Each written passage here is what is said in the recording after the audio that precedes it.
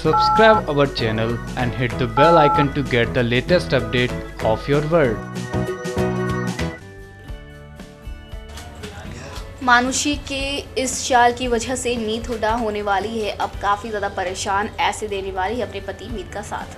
Serum मीत में honeymoon पर जहाँ मानुषी जानबूझकर दोनों के बीच में गलत फहमियाँ ला रही हैं तो वहीं मानुषी यहाँ पर मीत को ब्लैकमेल भी करने वाली है और बताने वाली है कि कैसे शादी वाले दिन की वो झूठी कहानी मीत को सुनाएगी ताकि मीत और मीत के बीच में लड़ाई हो जाए। हालाँकि बाद में मीत को शक भी हो रहा है अपनी मीत पर, जिस वजह से यहाँ पर दोनों के बीच में काफ़ी बड़ी दीवार खिंचती हुई नज़र आ रही है।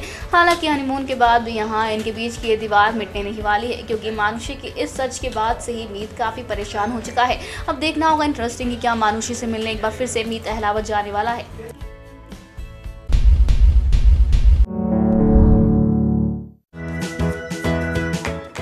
Subscribe our channel and hit the bell icon to get the latest update of your world.